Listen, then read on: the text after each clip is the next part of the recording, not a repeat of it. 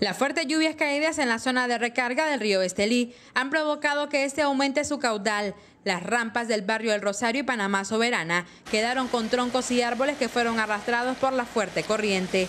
Esto llevó a un plan de limpieza para que los vehículos circulen de forma normal. Eh, bueno, hoy empezamos en la rampa del Rosario, ya se fue limpiado y evocado todos los troncos, que incluso había uno sobre la vía.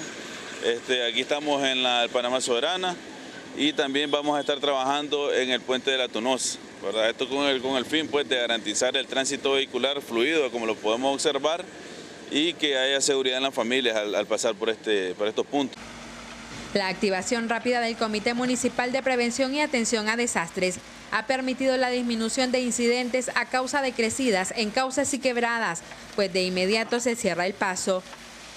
Eh, por ejemplo, a la hora que estaba deportado la rampa, pues se activan los bomberos, se activa la policía, se activa la, alcaldía, entonces para garantizar la seguridad de las personas. Nos ha ayudado mucho que las familias han venido obteniendo un nivel de autocuido con todo esto de los simulacros que hemos realizado y ellos mismos identifican el riesgo.